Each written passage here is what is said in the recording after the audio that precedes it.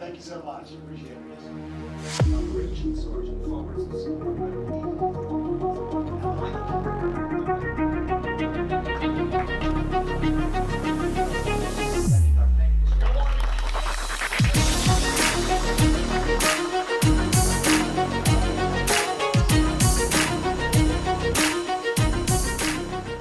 It's invaluable. It's keeping the skill sets up to par and beyond so that they're ready for any situation.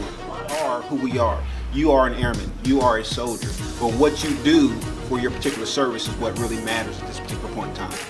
And what you're doing right now is building readiness so that when our service members go overseas and are placed in harm's way, they know that they are going to get the best medical care in the world if they become in.